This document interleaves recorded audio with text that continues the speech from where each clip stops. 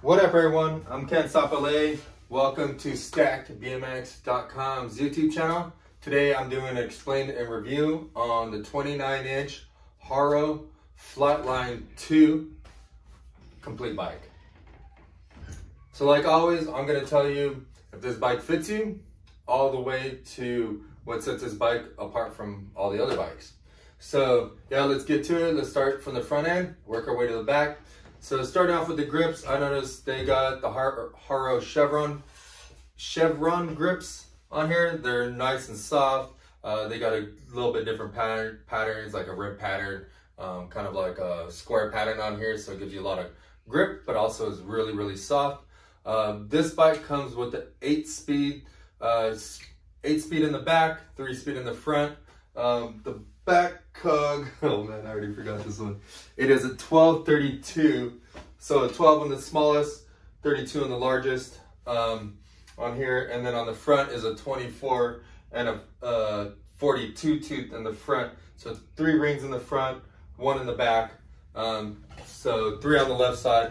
And uh, if you're not too sure about shifting gears or you have a mountain bike and you haven't you're always having troubles, Best thing to do is stay in the second gear on the left side, which is the middle chain ring, and then you can run through all the gears in the back. That usually helps you figure out how these gears are working and is just like your car. You start off on first gear and you go all the way up to eight, eight being the fastest.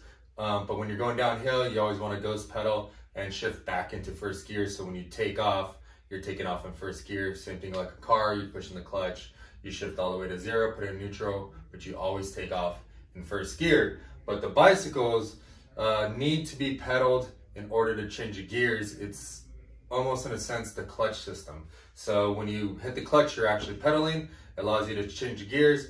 When you don't, what it does is it stretches the cables, it makes your derailleurs go out of whack. It causes a lot of wear and tear on your chain as well with your sprockets and it just damages your bike and costs you a lot more money rather than just shifting smoothly and following the way that you want to shift. Once you learn how to do that and you're super solid on that, once you start changing to first, second, and third, you'll instantly know and you'll be like, hey, completing the wrong one. One is not fun going going downhill. Three is not fun taking off. So you learn really fast, makes it real easy. Uh, these things come with pivot bars. These bars are extra wide. So if you're looking for a big wide bar, these are perfect. These come with a 31.8 clamp along with the pivot stem as well. This one's a shorter stem based on the size frame you get is gonna be based off the stem that you receive. So look at the specs on our website so you can see what stem is gonna come with that if that's a big factor for you.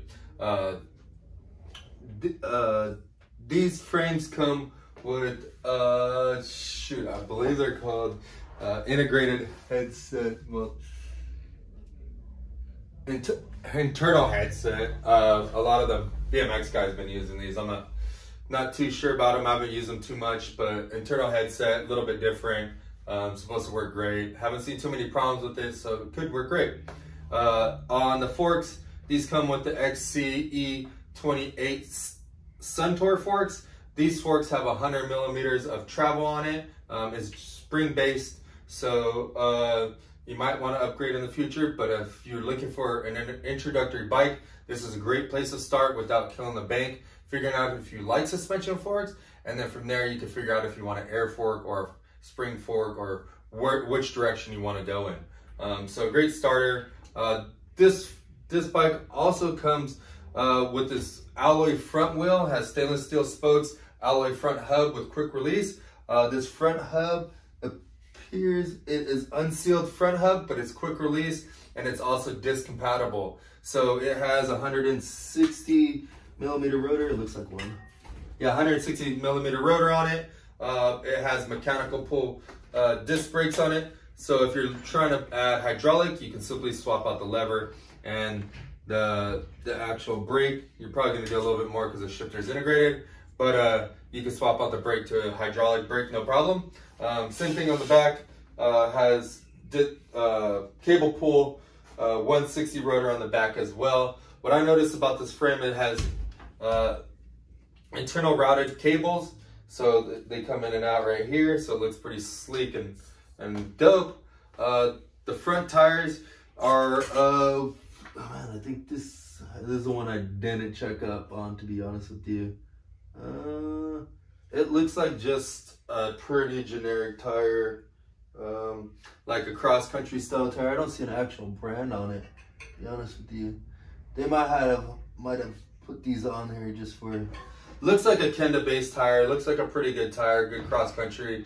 If you're riding on fire roads, stuff like that. Looks like a great tire. We we sell a similar tire here. We sell a bunch of them. Uh, work great for uh, clay terrain, hard packed areas. Um, even when you get in the soft stuff, work, works pretty well. Uh, for California and stuff like that, the dirt just works amazing. Uh, going on to the frame, it's a 6061 aluminum frame. Uh, this thing, it has kind of like a pyramid square style down tube. Uh, the top tube is kind of a triangular uh, style top tube and it comes down and it has a lot of gussets and weld area where it's all welded together. It looks pretty heavy duty. Uh, I like the, the rear chainstay of the frame, kind of swoops down and uh, just looks a little bit different and uh, I don't know, the dropout's very small. I kind of like that. It's got basic plastic pedals, nylon pedal, so something great to start on. It's got Nura on there. If you're just looking for something to start off on, I think this is great. Uh, it's got basic Tourney, uh, Shimano Tourney derailleurs on the back, as well with the shifters as well. Um, yeah, disc brake on the rear as well. It's got a double wall alloy wheel front and back. Uh, it's got a Haro Flightline seat on here and aluminum seat post and a quick release seat clamp. Uh, yeah, that's pretty much it. These bikes are available in flat black or red at the moment. If you see one of them, support Stack BMX. Hope you like this bike. Hope you like this review. Thanks a lot for watching. Have a great